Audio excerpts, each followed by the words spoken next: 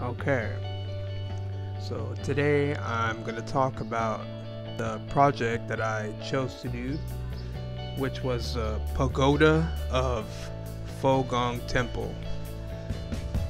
This pagoda is located in Ying County of Shanxi Province in China. It's a wooden pagoda that was built in the year 1056.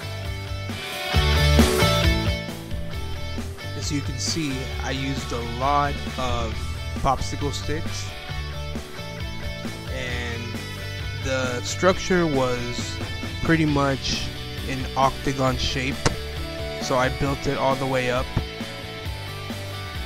My scale model is about 13 inches in length and about 10 inches in width.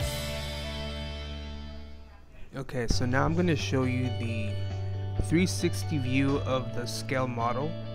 As you can see, uh, the outside of the pagoda appears to only have five stories, but in reality, it has nine. Um, I didn't go into detail and do the inside of it, but I tried my very best to do the eaves on the roof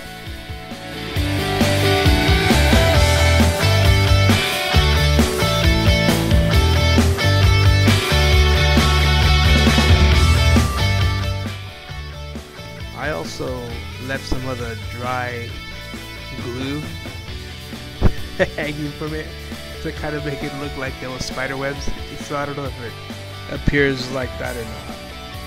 So here's the final product. And as you can see, my dog enjoyed it. So I hope you do too. And thank you for your time.